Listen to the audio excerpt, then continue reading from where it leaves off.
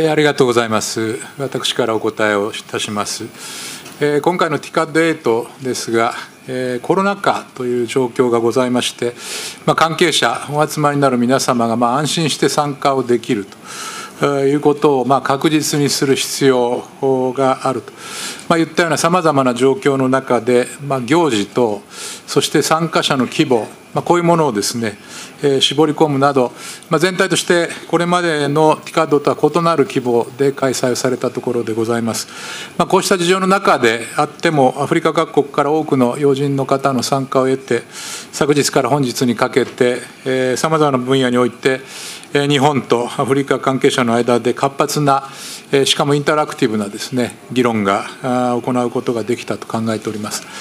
また、日アフリカの首脳間で、地日宣言、これを採択することができて、幅広い分野で今後の日アフリカ協力について一致をすることができました。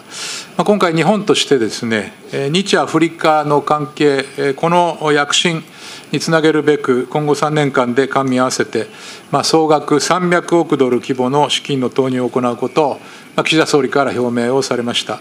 まあこれはアフリカと共に成長するパートナーとして、まあ、人への投資、そして成長の質、これを重視して、さまざまな課題をアフリカの人々と共に解決しながら、まあ、強靭で持続可能なアフリカを実現していくためのものであると、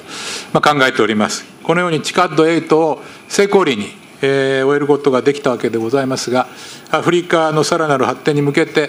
まあ今回の議論も踏まえて、アフリカ諸国をはじめとするさまざまなパートナーとまあ引き続きしっかりと協力をしていきたいと、そういうふうに考えております。